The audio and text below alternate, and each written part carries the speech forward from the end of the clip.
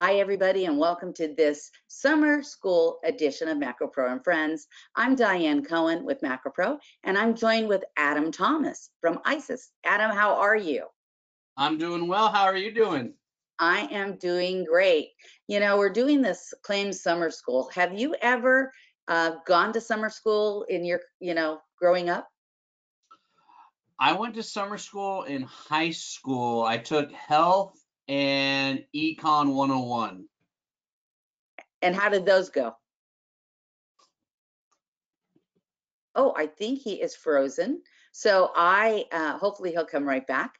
So I did summer school in elementary school. School. And every year that they offered Health it, was easy. Health was like the easiest class. I think everyone took health for summer. school. But I remember Econ a system. Yeah, and I I remember I got 100% on like the midterm, and he called me after class and said I had cheated on the exam. And so I asked him, well, did anyone else get 100%? And he said no. So I said, so I couldn't have cheated off anyone. And he just said, all right, well, I'm going to watch you the rest of the year. And I think we had like three weeks left, and you know, he kind of just let me be. Oh my goodness. Well, I, even then, Adam, you were an overachiever, which is great. So um, we Oh, lost you for yeah. just a second, and I started telling stories. So I'll finish that real quick.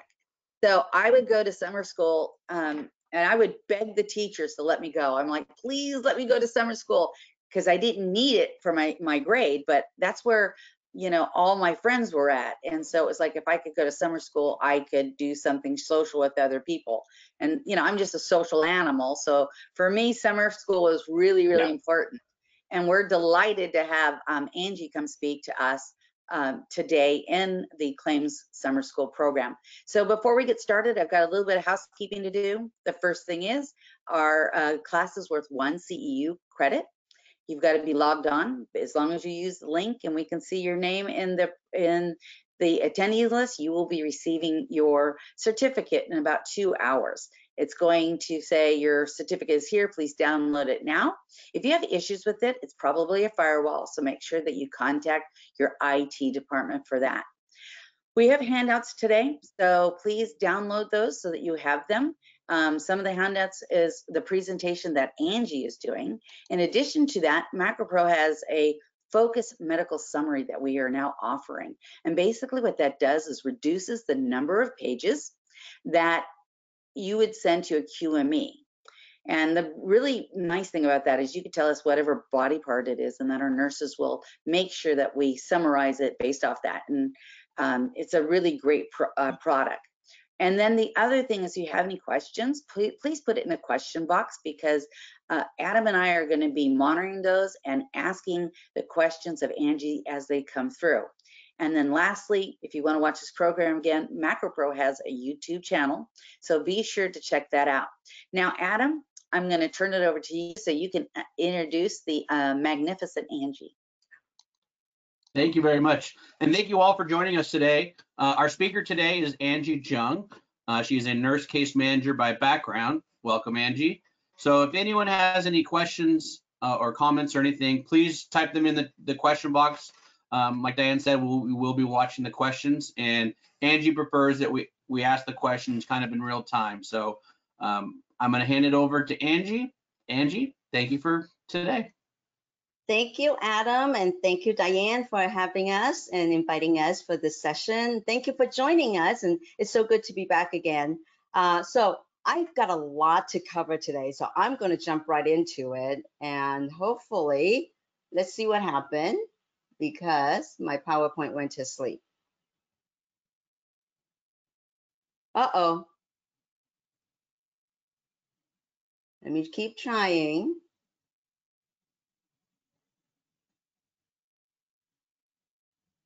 Okay. Sorry about that. Let's see what happened.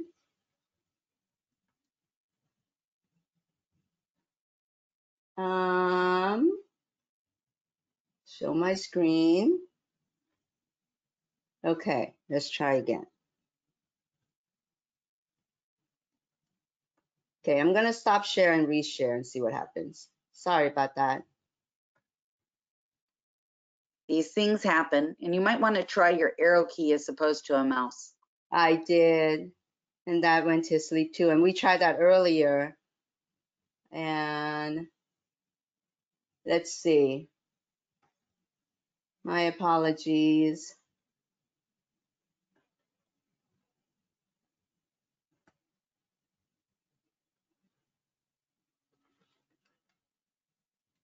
Hmm. Okay, let me try something.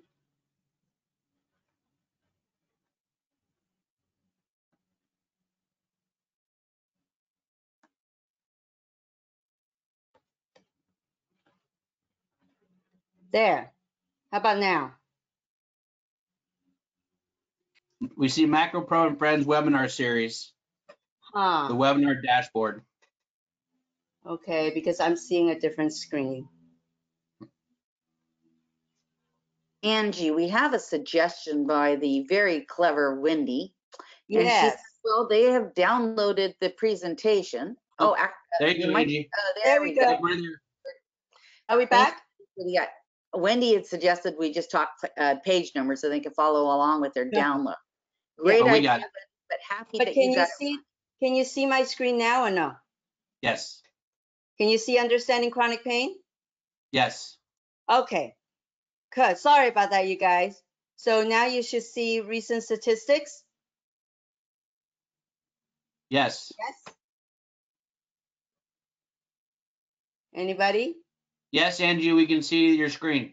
Thank you. Okay, so um, recent statistics, just some numbers throwing it out there. Uh, about 13 to 27% adults in the US are living with chronic pain. And look at the age group here. And back pain is still the, the highest leading uh, disability. This is about one to five people living with chronic pain every day.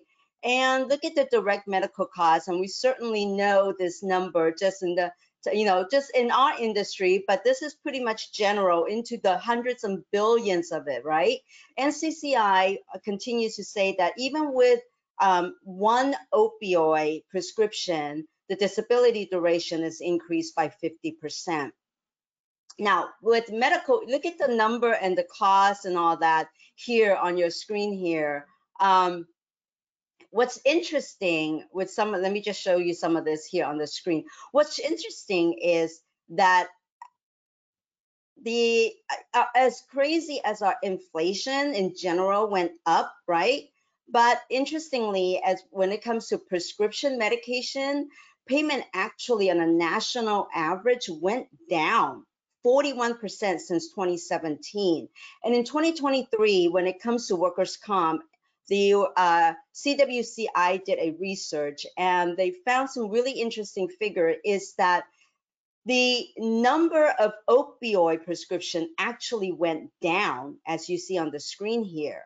But look at the bottom here where uh, the anti-inflammatory medications went up, okay, three folds while this is happening, some of the medication pricing are really, really expensive. If you look at like oxycodone in 2021, um, the prescription is about 5.9% of the opioid prescription is oxycodone in 2021. Okay, and that is at $145 per prescription. And I know you guys see these numbers, and um, you know, in, in your cases, but $145 per, per, per prescription, that consumes about 16% of the opioid payment. The other thing that's really scary, things like Butrans, you know, that is kind of a Schedule Three. Uh, they they we use sometime for detox and all that stuff. Okay, their payment's even more expensive. It's about 360 some dollars per prescription. So while the number of prescription went down, the pricing actually went up. So what we're talking about today is really to talk about chronic pain. We want to define what it is. There's some new information I want to share with you about the definition. Uh, recognize, you know, what the contributing factor to opioid use, how we could control some of the claims costs, and I really want to review the current, uh, the new stuff about the Narcan access rules, okay? I know that you probably have other chronic pain management um, uh, uh, sessions before by other specialists, and I'm hoping that I'm presenting you it in a different perspective from a claims and case management perspective, and that there's something um, that you'll be able to have some new information for you as well. So in the definition of uh, pain, according to the International Association Study of Pain, okay, this the definition was updated in 2020. So basically, they're still talking about the unpleasant sensory and emotional experience, okay, and that is associated with actual potential tissue damage. And you probably have heard of that before, but the unpleasant sensory we get that, right? When we cut our finger, ouch, it hurts, it's unpleasant. But when, we, when they're talking about that emotional experience, the actual tissue damage, yes, I cut my finger, actual tissue damage, it hurts. But potential tissue damage and that emotional experience, that could be very subjective, right? Because it's talking about if I think about something that hurts, it's going to hurt just like a little kid going to see a doctor for a for the vaccination they see the needle okay? Even before the before we put the needle in the kid starts crying right? That's that potential tissue damage.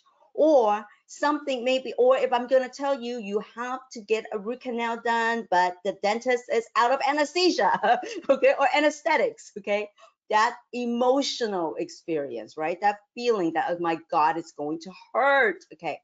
It's also very subjective. Pain is very subjective, influenced by our makeup biologically, psychologically, and there's also social factor influence.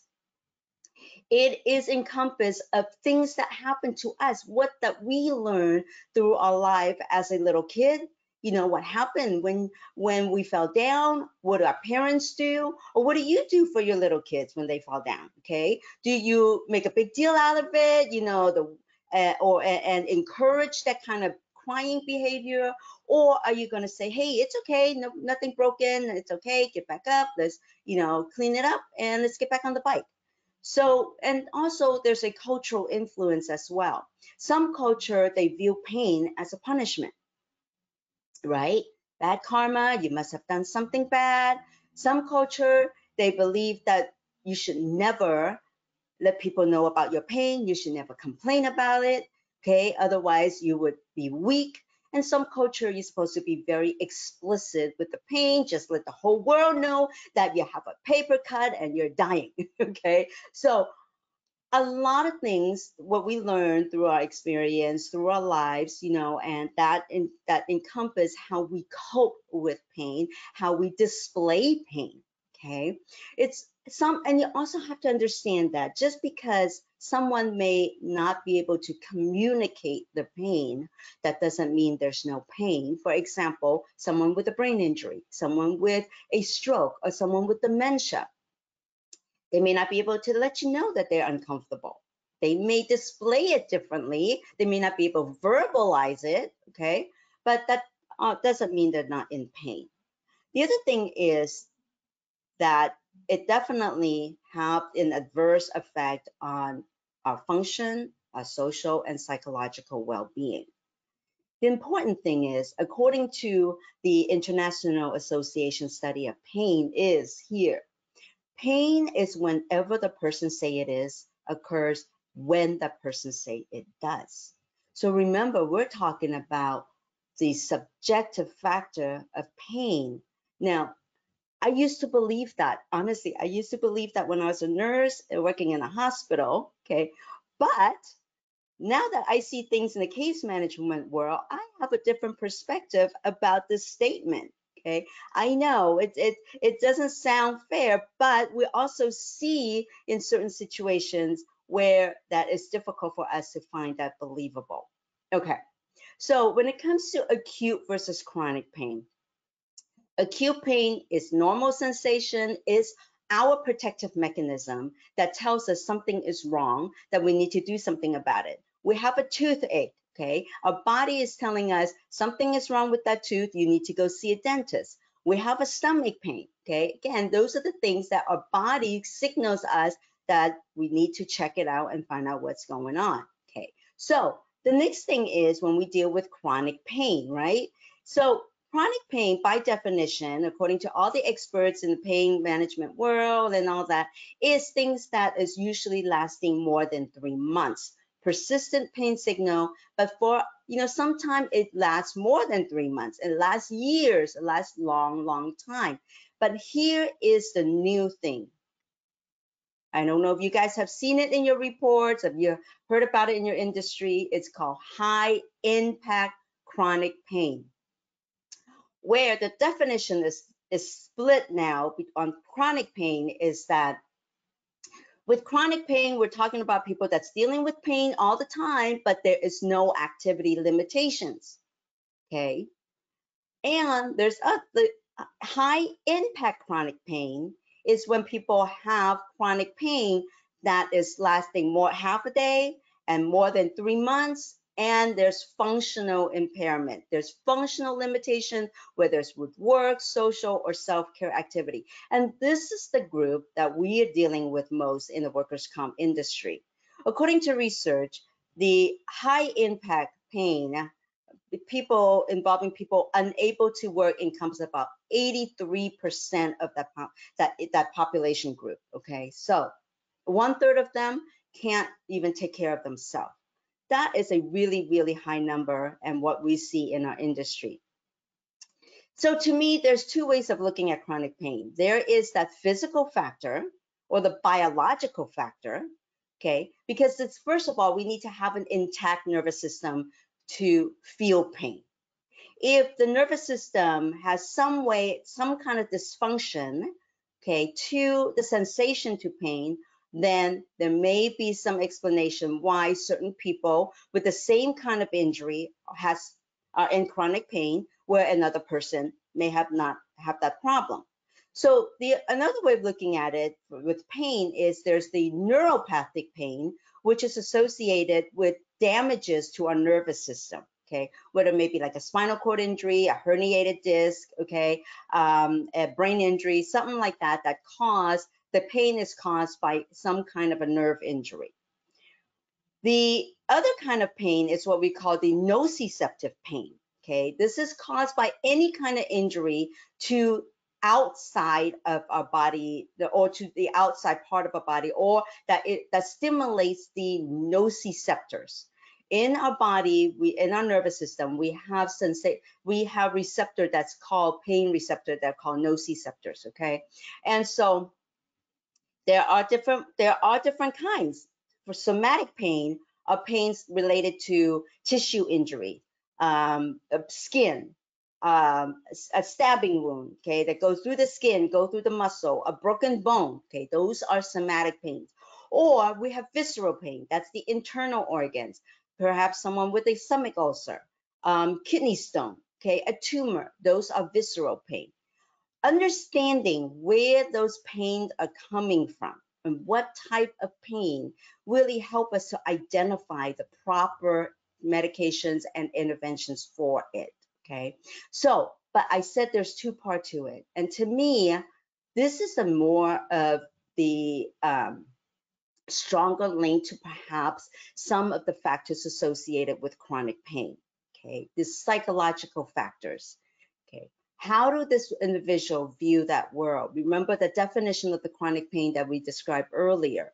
You know, uh, do they see the world, you know, as the glass half full or half uh, empty? Okay, how do they view that world?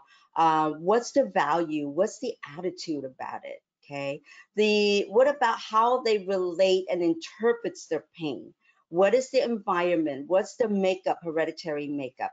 How do they see that and how do they interpret what that means? What was what about what we were saying earlier what about the cultural differences okay? How are the family upbringing interpret how they're supposed to behave when there's pain?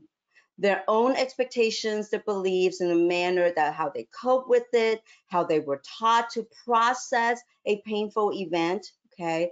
Um, and their environment. Sometimes do they somaticize that as perceived as pain? Maybe there's some other situation that's going on psychologically, their mental health, their emotional health that also interfere with maybe their interpretation of what's going on and the pain. Okay. Also, what about their history? Has there been a history of abuse? Maybe what's going on currently, not even just have to be a history. What's going on currently? What's the family situation? How are their support system? Okay, a positive or negative experience in childhood or as they're growing up as in adulthood or whatever it is, it provides a feedback to our coping mechanism, how we deal with that. Okay. So when it comes to chronic pain, remember we're talking about then the high impact things that's lasting more than three months, according to the American, American Psychiatric Association. The risk and the burden of it is the, the suicide risk, okay, the depression, the anxiety, the post-traumatic distress, okay. Um, we've all experienced pain, right?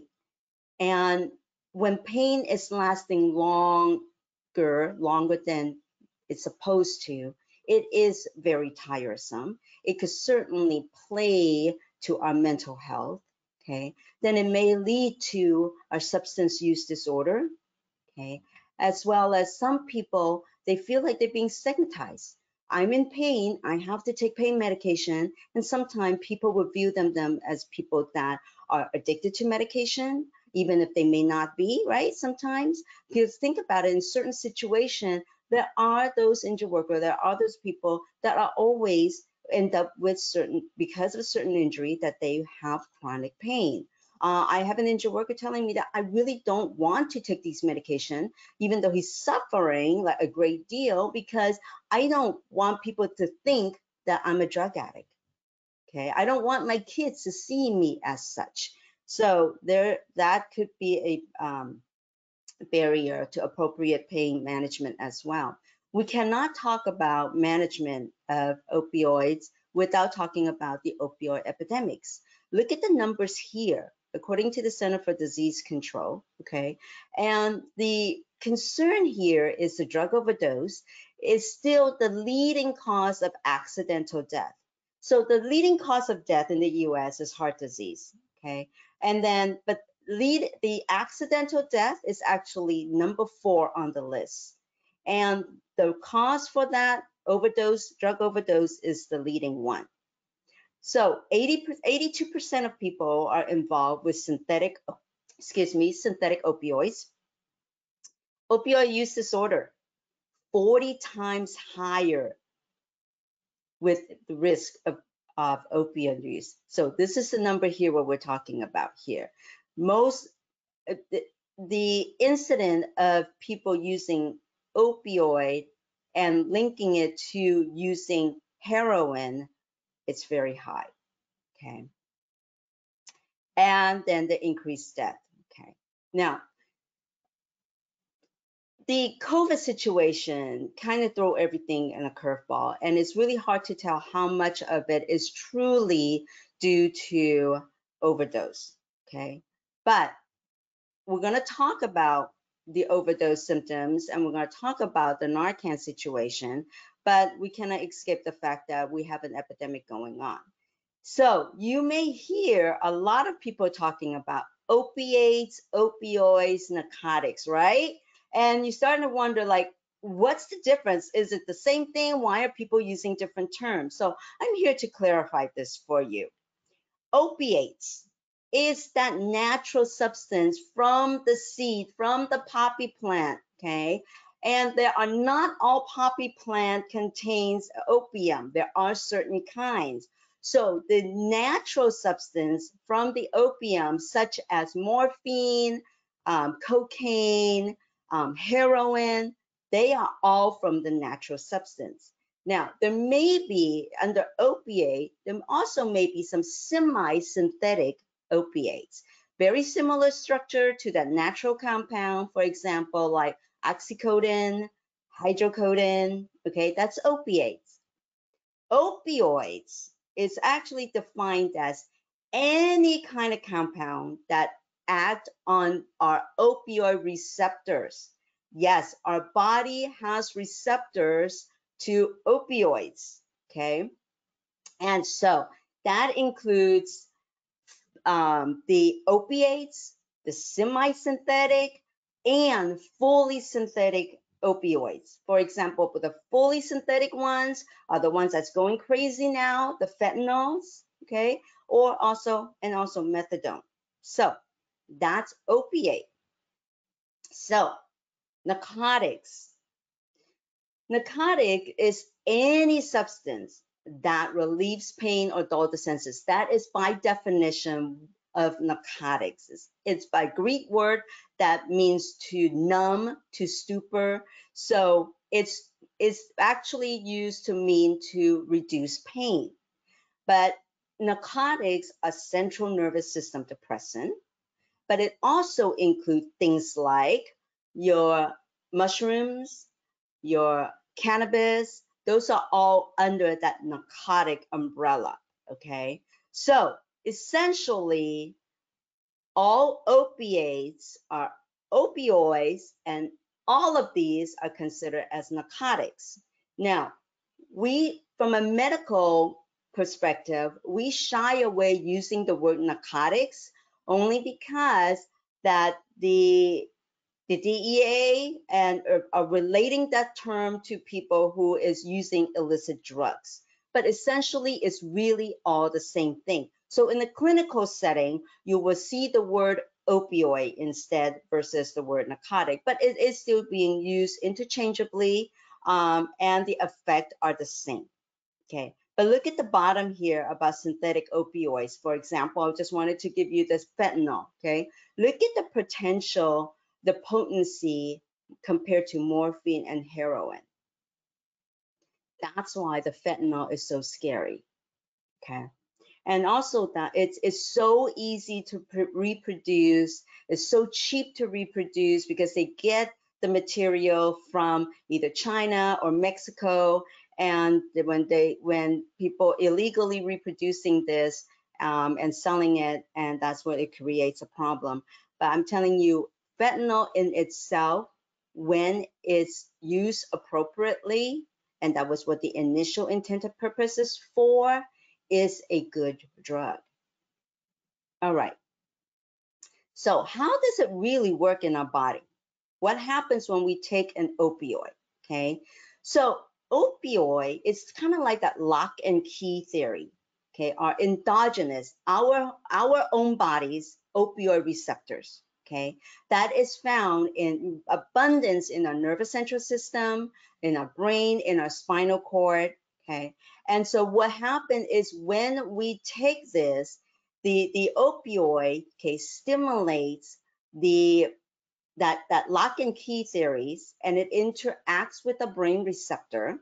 And so it triggers the release of endorphin. Okay, so it mimics the function of our endogenous endorphin. We have endorphins in our body. Endorphins are molecules that helps to reduce pain sensation, therefore relieving pain. So when you take an opioid, okay, it stimulates that to multiple times, okay, many, many more times more potent than our own endorphin but it also, what we said earlier, is a central nervous system depressant, okay? Because it slows down everything. It hits our limbic system, which controls our emotion. That's our emotional part of the brain, but that is the part that creates our pleasure, our happiness, our relaxation, our euphoria. It hits that system. It hits the brainstem, which controls our autonomic system, our breathing, okay, our um, heart, our blood pressure. That's where it controls. So it's a central nervous system depressant, means it slows everything down. It's intended for to relax you. It also hits the spinal cord, which controls that pain signal that going to letting the brain know you're in pain. All right. So basically, it targets the two main reward system in our body, the dopamine and the endorphins. Okay, so the endorphins, like I said, is the re- pain re- reduce our pain. The dopamine is our pleasure sense, uh, the pleasure sense uh, chem, uh, system, uh, substance in our body. Okay, so if you want to increase dopamine, do things that make you happy. Eating chocolate, you could still increase your dopamine that way. All right. So this is what happens sometimes when we're concerned with people that are taking or depending on the medication. Opioids are divided into what we call scheduled drugs. And be, they're scheduled by the potency of uh, the tendency of people getting addicted to it.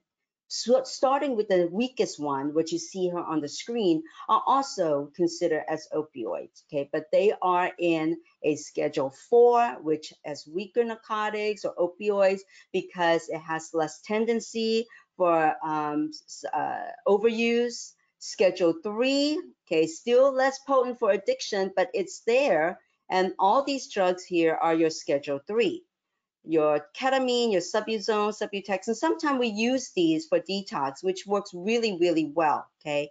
Um, codeine is another one. Schedule two are the ones that we are concerned about that we have to deal with. Look at the all this here that you see on Schedule two and how many of those are what our injured workers are taking, right? Cocaine is under Schedule two, opium, methamphetamines, Adderall, Ritalin. Okay, it these are all under Schedule 2 drugs. And then your Schedule 1 are all the ones that's illegal drugs. They're only approved for research purpose. On the same cannabis is, is illegal. It's still from the federal level. It's a Schedule 1 drug. Um, even though in California, uh, we accept medical and recreational uh, marijuana under federal regulation, it's still a Schedule 1 drug. Schedule 1 drugs cannot be prescribed cannot be used for medicinal purposes, and that's where it's standing right now. Okay, so when it comes to opioid misuse and dependency, I want to let you know that the word I'm changing here is the word abuse. Okay, so what like um, detox centers and mental health um, organization that work with people that are have substance use disorder they really do not want to use the word abuse because it is it's a really negative connotation to it. And there are certain reasons that some people may be depending on these medications for whatever reason it is. Okay. So the word is opioid misuse, misuse uh, or dependence. Um, unless it's diagnosed, we cannot use opioid substance use disorder unless it's diagnosed by a specialist. So some of the contributing factors you know, it's still, it's better. I have to say we are doing a better job, but it's still pretty easy to get these medications. Okay, my husband had a minor procedure, literally really minor procedure, and the doctor prescribed him, you know, Vicodin. I'm saying, no, I don't need it. He doesn't need it. We could take the anti-inflammatory, right? I'm saying this. We could take the anti-inflammatory. It's no big deal. But he insists that he have a prescription for a few Vicodin. Okay. Polypharmacy, multiple prescribers, yes, sometimes that happen where the doctors are not talking to each other. It's very easy. But nowadays, if everybody is following through the system, there's the CURES, C-U-E-R-S, CURES system, where anybody that is a prescriber, doctors, um, PAs, nurse practitioners, pharmacists, they are supposed to sign up to this national database so that before they prescribe someone an opioid, they're supposed to check if this individual ever received or on any other opioid prescriptions. So this is only as good as they are doing this, okay? So there, we still could run into problem where they're uh, doctor shopping, seeing different doctors, getting the medications, and we hear this in the news all the time where other there are other prescribers that are doing it regardless what they're doing to the individual and uh, so they're prescribing them inappropriate prescription lack of monitoring by the doctor okay inadequate training right so most of the time we get this doctor prescribing it either through Ahmed, through our orthopedic doctor. They don't know much about opioids. They don't know much about pain management. And this is how sometimes we end up getting in trouble and they don't monitor it. Okay, they don't monitor how long they've been taking it, if they've been taking other medications. They never ask if they uh, been taking, you know, if they have an addictive personality of anything. Um, so these are some that should have been in place, okay? Sometimes, sometimes we have to consider, okay, that if an injured worker continues to complaining of pain, that did we get the correct diagnosis? Because if we didn't fix something correctly, then it makes sense that this individual continue to experience pain, okay? Um, lack of emphasis on screening, education, and prevention. When I'm at the doctor's office, rarely do I hear the doctor asking, one time, I only heard that one time, telling the injured worker what they're prescribing, what the risks are with this medication, and if they had an addiction with anything. Typically, what I hear is, you're in pain, here, I'm gonna give you a medication for your pain. Scribble something on a pad, and they have no idea what it is okay? Injured worker usually not gonna ask um, about it. And this is something that we really need to educate and emphasize a lot more, okay? The one time that I had a doctor asking this person about the history of addiction was so, um, it was so prevalent because this person had a severe injury to an upper extremity um, tissue, muscle, nerve damage. And after he recovered from the acute hospital, transferred care to another doctor that's going to take over for the workers' comp and was a pain management doctor. Um, and that was the first thing that one of the, that doctor asked him. Do you have an addiction to anything?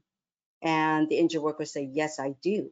Now, obviously, at the time of injury, when he was um, in acute, he had received the opioids and multiple of it, right? Okay, so now that we understand this, the important thing is to gradually wean him off of these opioid and substitute it with other medications. Okay, so that was very, very effective. So fraud prevention framework for controlled substances, We've been screaming this for a long, long time. Finally, people are doing some things about it, right? We're doing better, uh, but we need to continue to work on that. There's also the social value and the psychological impact when it can contribute to chronic pain that what we had talked about earlier. And there's also another component when it comes to work injury is that the injured worker is angry.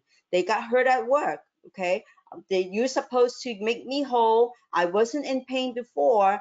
And so now I'm in pain. They're angry. They're to go to towards that pain medication, whatever it is. Okay.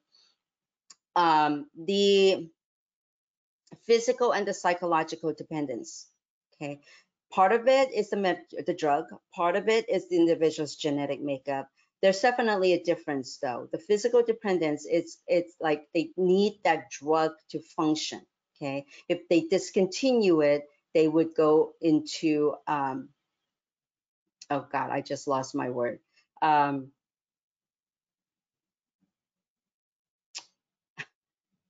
well, anyway, I'll come back, it'll come back. The psychological dependence is when they really don't need that medication, but they feel that if they don't take it, they might be in pain. So they will take that drug around the clock. Okay, so um, I had an injured worker that I told her that you know you these medications are not working for you. We, we should need to talk to the doctor to maybe change it, maybe go through a detox program. And she literally tells me, don't do it. I can't discontinue these drugs because I'm afraid that if I reduce it, if I stop it, I will feel the pain okay? She wouldn't even give it a try. When it comes to using opioids, there's really four things that we need to keep in mind. And the important thing is the ongoing monitoring of, did that medication help to relieve the pain? or provide good pain control? Was it effective?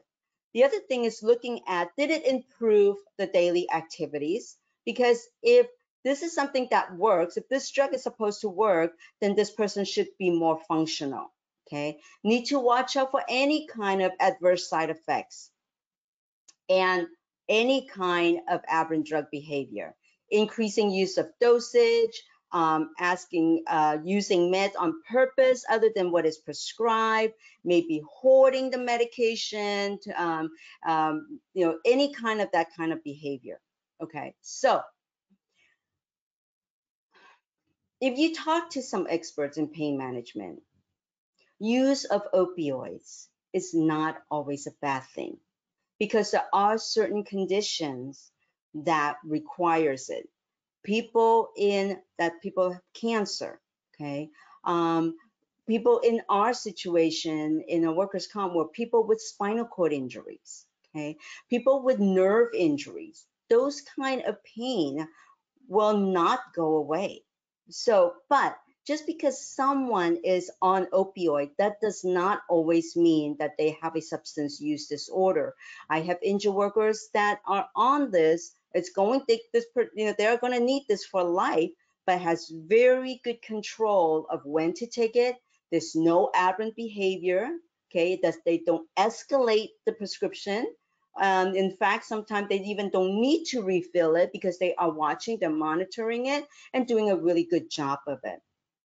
Okay, versus other injured workers that we, many of us work with that have all this out of control and that's when it becomes dangerous i'm just going to go over the you know in fortunately in workers comp we've had so we have so many of these safeguard guidelines that we've been practicing for such a long time before nationally these people are talking about some of these guidelines right now, Center for Disease Control have uh, published a couple of these uh, opioid prescription guidelines. This is the most recent one. There's really total of 12 recommended statements. If you want to look at that, there's a link on, on your screen and in your handout as well. But I'm just going to cover, you know, some of just a few, for example. You, first, we really want to start with things that are non-opioid, okay, or even non-pharmacological treatment. Okay, so for management of pain. Establish a treatment plan. Before we even go use uh, prescribing opioid, have we try other medications first, other kind of therapy first, okay? What is the treatment plan? Is that what is the reasons for the pain? Um, there's uh, some doctors ask for a contract. Okay, this is also recommended by ACOEM. Is a pain management doctor should have the injured worker sign a contract when it comes to opioid. When are we going to reduce this? How are we monitoring it? And when are we going to reduce the medication? When are we going to discontinue it? Those kind of contract, okay? Need to determine the need for the opioid. Is it what kind of pain it is? Intermittent, short acting, long acting medications, um, initiate that uh, the lowest dose first if we are going to have to use opioid there is a ladder that we're talking about, the paint, the the uh, prescription ladder. Start with the lowest first, okay, before you go up to the level that is most appropriate. Now you have to take in keep in mind that if it's an acute injury, we are not going to start with the lowest first. If someone sever the arm, okay, have a fracture, we are going to go with the highest that is most effective before we wean them down. Okay, so ongoing monitoring, ongoing management, we have to determine when we should discontinue use of opioid. We don't keep prescribing, prescribing without asking them, okay? And we when to continue, when to discontinue it. Oh, sorry, let me get back here. So back then, earlier I was saying how the doctors are not trained. Thank goodness this happened. Look at this, effective of last month this year, okay? Doctors need to complete eight hours of training in management and treating opioids and other substance use disorder. Yeah, that's finally happening.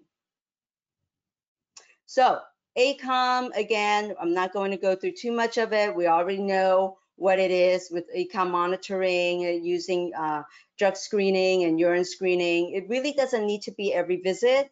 Your urine random drug screen, your urine test, okay?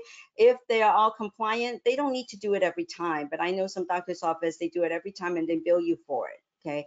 Consider about drug rotation sometime. Want to get back here about the maximum dosage of morphine equivalent, okay?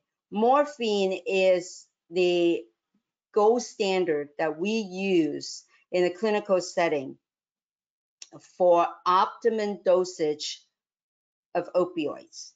No more than 50 milligram per day is what the ACOEM guideline is saying. Other guidelines could be higher, but that's what we're talking about. And so all opioids has a um, um, translation kind of a table to determine their dosage. So for example, Norco, okay, Norco is really easy uh, to translate because Norco, one milligram of Norco equals one milligram of morphine. So, so if someone is taking Norco 10, 325, okay, the 10 milligram is the Norco, the 325 is the Tylenol. Okay, so let's say someone is taking a Norco 10 every four hours around the clock. This person is taking at least six pills, let's say six pills a day. That is 60 milligrams of morphine, and they're taking too much. Okay, that's what it means. All right. So avoid concurrent benzo, uh, benzodiazepine anti-inflammatories with opioid. Okay, these are examples of what benzos are that a lot of our injured workers also taking. The things like the Xanax, the Valiums, the Ativan's, okay, all that stuff. The risk of it is increases respiratory uh, depression when they take it with opioid. It also increases the risk of suicide and other side effects also what helps us is our uh, DWC, the MTUS pain management guideline. Again, not going to talk too much about it because there's, we are familiar with it and there's certain things that you are approves and not approves. Um, definitely, it, they are not going to approve anything like a Schedule 2 for sprain and strain injuries um, or things about the, uh, the uh, intrathecal drug delivery system. There's 126 pages, and we now also have a drug formulary. Okay, so as far as claims management, really to look at those cases with red flag because there are some injuries with higher potential for chronic pain. So, like I said earlier, that not we have to look at that there are some cases, okay, like nerve injuries, trauma, multiple surgeries that they are going to end up with some kind of chronic pain. We want to be sure, certain that there's no other patho pathological, uh, pathophysiological causes. Did we get the correct diagnosis? Did we treat the condition appropriately? Did we miss something? Maybe we should have a second opinion. Identify those risk factors. You're the best person when you talk to the injured workers, when you look at those records to determine those takes time. It's not a one-time conversation, okay? But are there something that we need to be concerned about? Are there pre-existing the psychosocial factors that we're talking about, okay? Are there codependence? Are there history of drug problems? Are there secondary gains, okay? Because sometimes you have to think that if pain and all this managed and, and all these interventions are not resolved, what could there be, okay? Um, for example, a fracture bone, okay, that heal. I mean, we could identify pretty quickly, and it usually heals up re relatively well. Um, but then pain persists. We have to determine what it is. Do we need to do an MRI? Do we need to evaluate what is going on with the family situations? Um, and then monitoring utilizing the resources and the tools that you have, your UR, your pharmacy management system, your peer review, and all that. Education. It is so important that we need to do a better job. If the doctor doesn't educate them, for you as a claims manager, you need to educate the injured worker not about the not about you know about the drug itself that is not your responsibility but at least talk to when you talk to them mention you know i noticed that the, the doctor prescribed this norcos or vicodin whatever it is for you. Did the doctor talk to you about these drugs um, and what they're for and you know what are the risks of taking some of these medications? If they say no he never told me about it next time at the doctor's office talk ask your doctor to explain it to you you know something like that to kind of at least you know get their mind going when you have a case manager, this is where the case manager could be involved during the doctor's appointment visit to get the doctor involved to talk more about these drugs, okay? Um, um, what else I was gonna say? Let's see here, talking to the doctor, okay? Maybe see if you could talk to the doctor directly about, you know, changing the medication, reducing the medications, um, there are times when the doctor doesn't understand the, why you have to request refills in a certain way and a certain dosage and why they always get denied by UR. Maybe because their requests for these refills of these medications are outside of the ACOEM guideline. Even if you are sent a letter to them, you know, 80, 90% of the time they don't read those UR letter. They're not the one who read those UR letter and they don't understand the reason for the denial of the medication refill. So sometimes you may need to make that phone call or sometimes you may want to get somebody in there, get case management, get a specialist or whatever it is to be in there to explain that to the doctor. It works. It works really well. And sometimes if, hey, if it doesn't go well, yeah, you know, whatever it is, you may need to consider transfer of care. Just because they're with a pain management specialist, that doesn't mean that specialist is appropriate for that injured worker. So you understand what I'm saying. So we talk about the random urine test. Okay, considered early pain management and detox if that is necessary, but you know that it can be very, very expensive engage safe, uh, stay at work or early return to work as much as possible if they could accommodate it. You know, consider what is going on in the family as well. Um, I have I have one injured worker that tells me, you know, Angie, I have never had my husband and my kids pay as much attention to me as they have now that I am in pain. My husband takes care of me. My kids do their chores. They, they clean up the house. They pay attention to me. This gives me a red flag that this is a secondary gain situation here. Okay. So let's take a few minutes to talk about the naloxone access rule. This is pertaining to California that I'm covering, but actually all 50 states, including District Columbia, Puerto Rico, have some form of naloxone access rules, okay? It just depends on the jurisdiction and how to obtain it and uh, what are some of the guidelines. Okay, so in 2024, this has been something that's been going on for a while. It really does allow that family and friends, the people who know that they have prescription for opioid, that they could receive the naloxone. And I'm going to just say Narcan, okay? Narcan, so really what is it, right? Narcan is an opioid antagonist. So remember that lock and key theory, okay? So what Narcan does is it attaches itself to those opioid receptors and it blocks the opioids from getting in. So, so it, and it reverses the effect of the opioid, okay?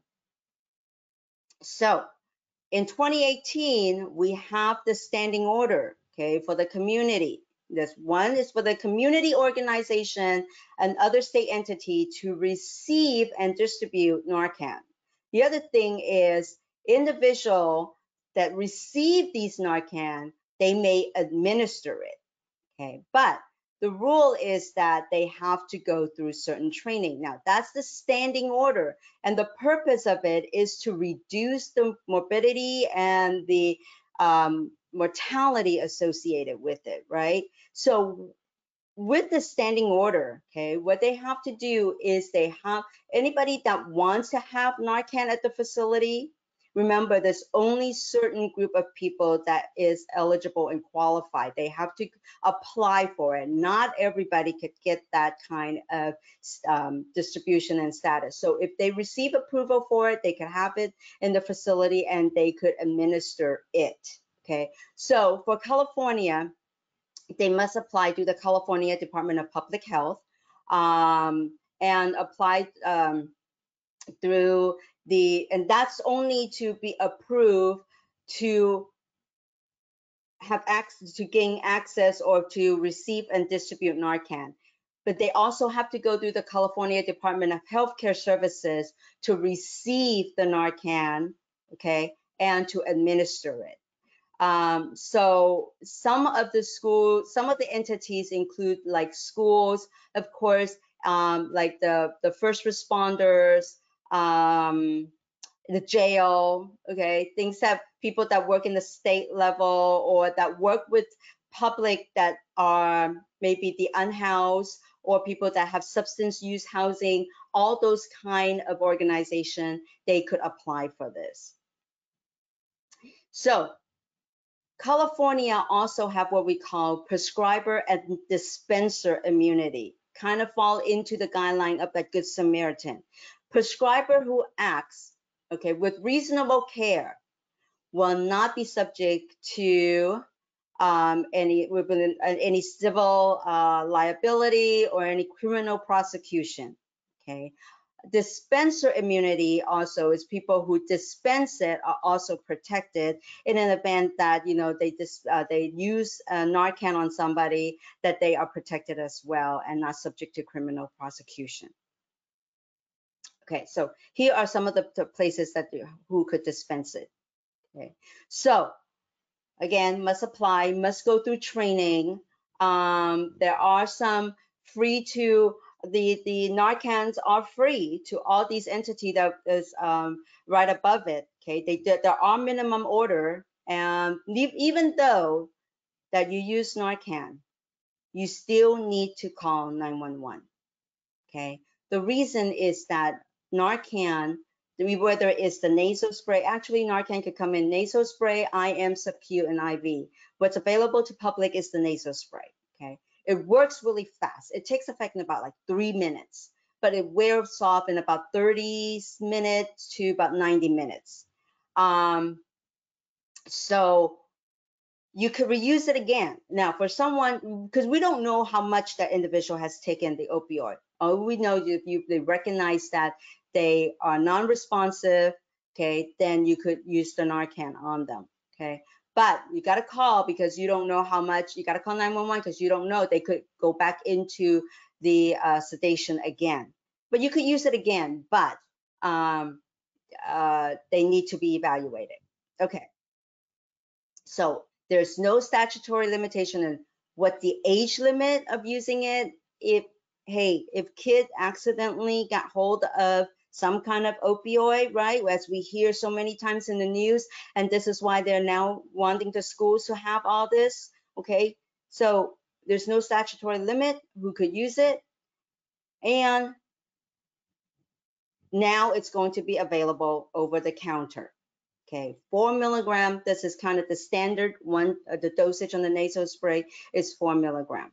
Okay, so it's gonna be available over the counter. It's just depending when the pharmacy is going to get them. And there's apparently my understanding is there's some shortage of it. It's covered by insurance medicare part d medicaid medi-cal. Okay. When it comes to workers comp it is recommended people that is taking more than 50 milligram uh, equivalent. Okay. People with um, opioid use disorder, people that's taking benzo together, they need to learn the signs of overdose. That was the word I forgot.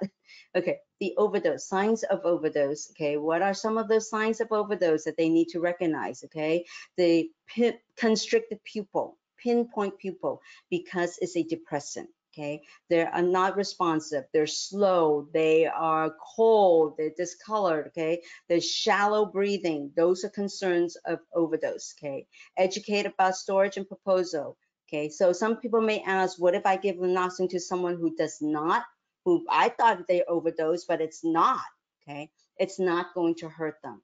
Narcan is relatively safe and in mo they have not found any evidence that it was given to them in other conditions that um, they, there's any problem. Okay, now keep in mind, Narcan only works on opioids, okay?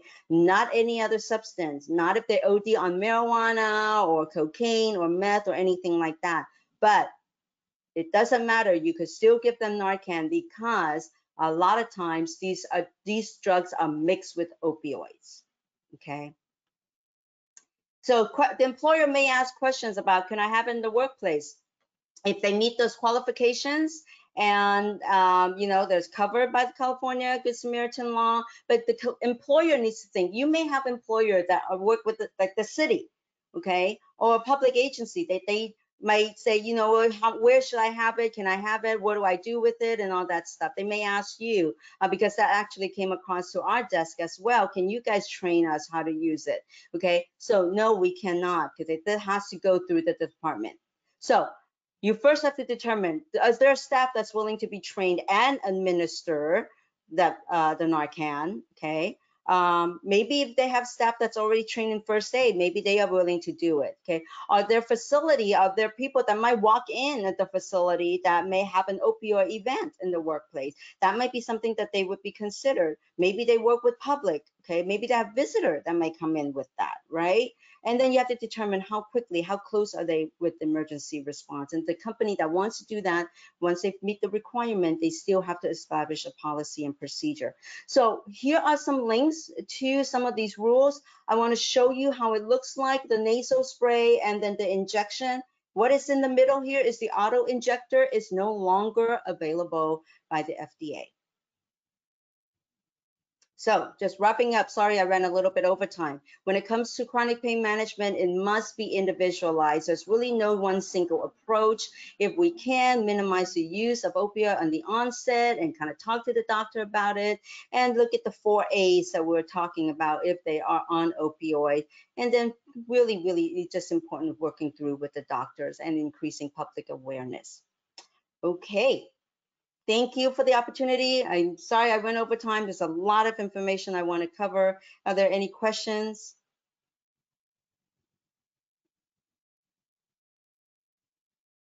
Angie, I did not see any questions. Adam, did you see any? I don't know if Adam's camera is working. He seems to be off screen now. Angie, I want to thank you so very much for this great presentation. You always give us so much information that is so useful. Can you tell us a little bit about what uh, your company provides? What services? Oh, sure. Thank you so much.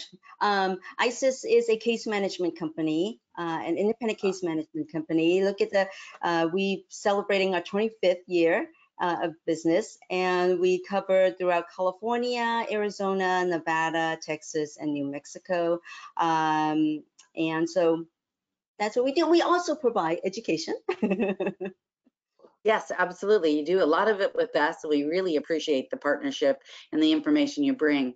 So I just want to remind everybody there is a flyer that's attached um, regarding our injury focused summaries that will help you with uh, going through the medical records and making sure that you have everything you need. It's really a great product. You know, Angie's people are working really hard. They provide you great information. And this is a way that our nurses can help just kind of condense all that so that you send just the right number of pages to the QME. And this is the back to school webinar series. We do have some upcoming webinars. So I just want to remind you that um, our next webinar is going to be identifying high exposure claims. Then we'll have a uh, Medicare mid-year review. And then we have a kind of really interesting uh, program. They're all interesting, but I really like this one. It's on um, TD overpayments, you know, how to administer it, how to administer them, how to recoup your costs, and then how to prevent them at all from happening. That's always a very nice thing, right? And then we have a three-part series on mental health for op for officers, and it's going to go into why some calls are more mentally taxing for uh, our police officers the importance of the leadership in the department, and then lastly, getting the right mental health treatment for police. So if you handle any type of police claims, you are definitely going to want to watch that. All those things can be found on the MacroPro website. You know how to register because you're here with us today. And we want to thank you again, Angie, for joining us. And we will see you at the next MacroPro and Friends, everybody. Talk to you later. Bye-bye now. And thanks, Adam. I'm sorry your camera didn't work. Yeah, thank you guys.